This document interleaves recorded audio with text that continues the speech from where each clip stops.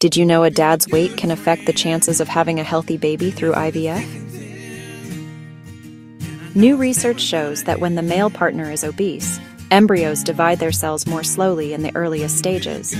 This can mean the embryo isn't as strong or healthy as it could be.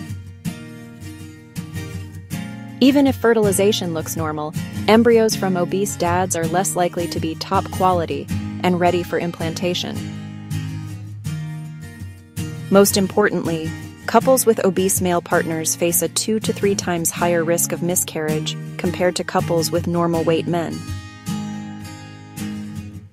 The good news? Weight is something dads can change. Losing weight through healthy habits may improve the chances of a successful pregnancy and a healthy baby. So, when planning for a family, remember dad's health matters too. Talk to your doctor about ways to support both parents' health for the best start possible.